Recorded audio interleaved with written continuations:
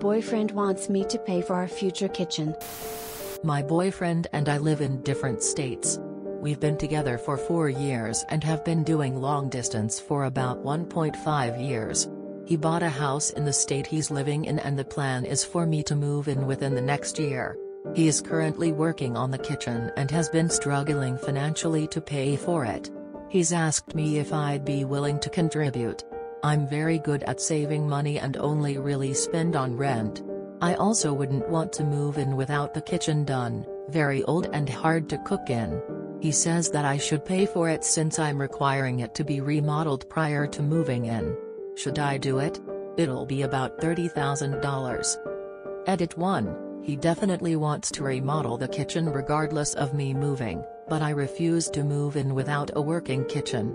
It's hard to cook in there without wanting to puke. Not unless you're getting added to the deed of the house. If he's willing to write up a contract that you're entitled to any equity you put in, maybe, but honestly that's still a pretty bad idea if you're not married. 30k in exchange for name added to the deed sure. Otherwise he can screw right off with that thought. Absolutely do not do this, unless your boyfriend wants to add you to the deed. Would be a massive mistake. Personally, I would be willing to do it if my partner was willing to put a lien on the mortgage with a 10 plus year clause. If you stay together 10 years or longer, the lien ends as you'd have gotten full life use of the kitchen. I'm also a former finish carpenter slash cabinet guy. Whatever you do, do not buy the particle board cabinets. The plywood boxes will cost more, but they will last 15 plus years whereas the cheapest may only last 5. Absolutely not. It would be insane to contribute $30,000 to the remodel of a home that you do not own. No. Your name isn't on the title. Do not finance his home improvements. The plan of you moving in could change. If he wants your dollar, your name goes on the title before he gets any money. Absolutely not. You have no financial interest in this house. Put the money into your house. If your name isn't on the house deed then no. Don't be an idiot.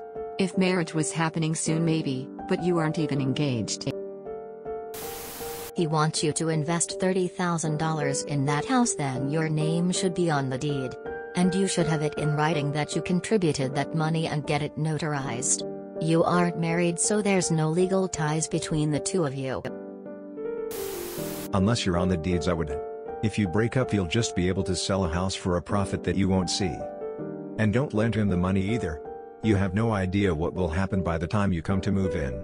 Next year is long enough for things to radically change between you. Can't he install a cheaper kitchen? Not sure if that's normal where you are but doing the conversion to pound, that's a massive amount. No, if you aren't on the title deeds, it's not your responsibility. No, you don't live there and have no financial, lawful entitlement to the house. Should you invest $30,000 in a home that you have no ownership in? No, absolutely not. 30k on a house you have no legal rights on? No ducking wave. Why does the kitchen need to be remodeled? Is it small or outdated? Is it really a requirement for you to move in? Is he gonna put you in the deed in exchange? How are you gonna have any say in the remodel with you living in another state? Don't do it unless you're on the deed. He could have chosen another house that didn't need work. I might consider it if he signed something that said if you break up within X years he would pay. You back lol. No. Two reasons first. It's not your house. Second your relationship is long distance. How much time have you actually spent together?